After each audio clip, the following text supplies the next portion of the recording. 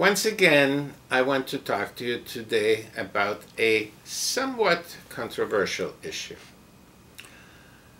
This is one of those, what we here at CHR have come to call fashions of the moment, uh, which unfortunately, on a pretty regular basis, infect our specialty.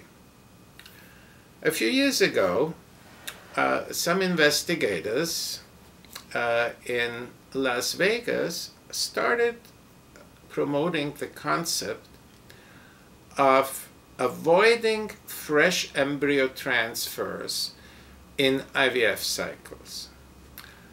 In current, still standard IVF practice, uh, we, for over almost 40 years, have always preferred fresh embryo transfers over frozen embryo transfers. And the reason was that uniformly, fresh embryos performed better than frozen embryos. Now, in the early days of IVF, there were maybe technical reasons, at least partially behind those results, because our abilities to freeze embryos were not as good as they are today.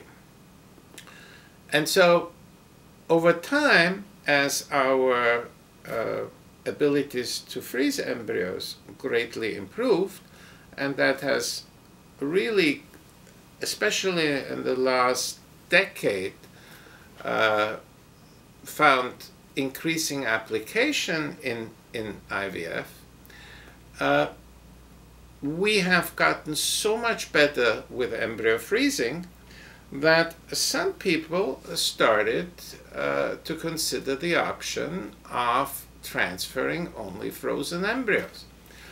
And their motivation was the hypothesis, and it is important for you to understand that this is purely a hypothesis. Uh, their hypothesis was that in a fresh cycle, in a stimulated cycle, hormone levels are so high, they are so-called supraphysiological, that they negatively affect the endometrium and therefore reduce chances of embryos to implant.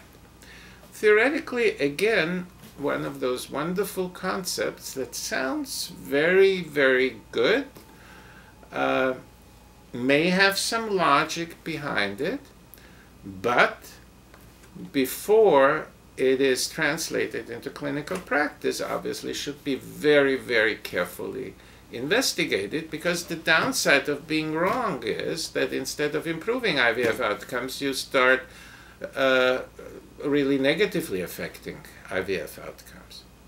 And we have seen that happening in our field over the last decade, unfortunately, on quite a number of occasions with other so-called fashions of the moment, whether that is now uh, pre-implantation genetic testing for aneuploidy, now called PGTA, in past called uh, pre-implantation genetic screening or PGS, uh, or um, other rather short-lived interventions uh, into routine IVF practice that have been promoted here and there.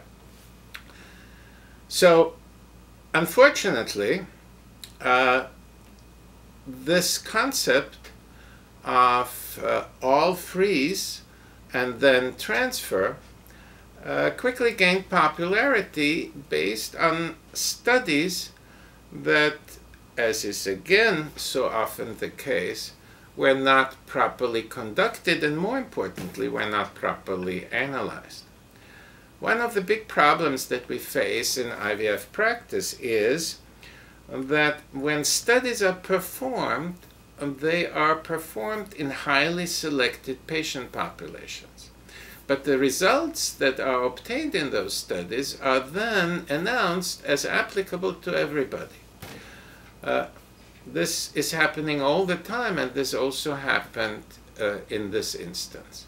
There are obviously patients who may benefit uh, from all freeze cycles. I mean, the most obvious ones are patients who do not have adequate thickness of their endometrium at time of a fresh transfer.